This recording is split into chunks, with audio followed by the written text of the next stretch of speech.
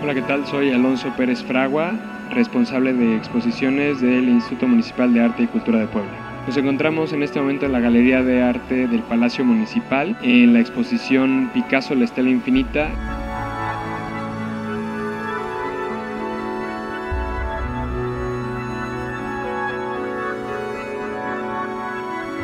Picasso, la Estela Infinita es un diálogo entre la obra del artista malagueño Pablo Ruiz Picasso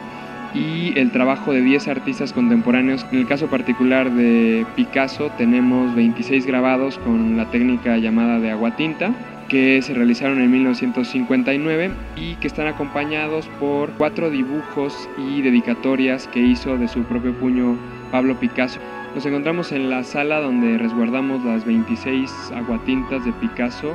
además de otros 5 enmarcados que contienen firmas y dibujos de Picasso. Lo que está aquí atrás es la funda de la carpeta donde venían esos 26 grabados al agua tinta y en donde en 1973, un par de meses antes de morir, Picasso le hace una dedicatoria a un, a un amigo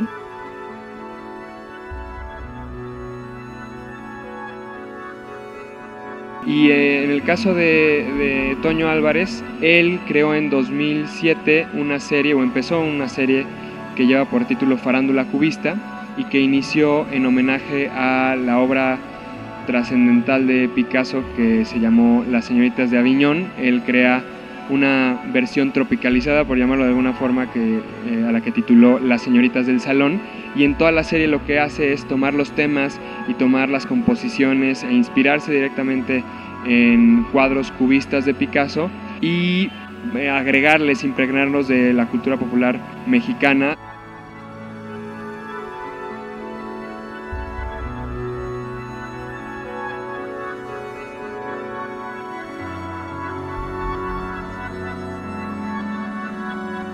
Pues les hago una invitación a todos los poblanos y a todos los visitantes que acudan a Picasso La Estela Infinita en la Galería de Arte del Palacio Municipal. Es una gran oportunidad de conocer un aspecto más de la obra de Pablo Picasso, un artista reconocido por su aportación a la historia del arte. La exposición de Picasso La Estela Infinita va a estar hasta el 7 de enero de 2018.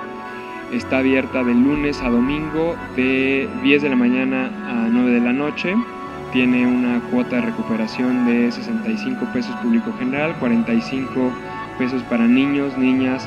estudiantes, profesores y personas de la tercera edad con credencial y entrada libre para personas con discapacidad y también entrada libre todos los lunes de 10 de la mañana a 5 de la tarde y en las noches de museos que participa la exposición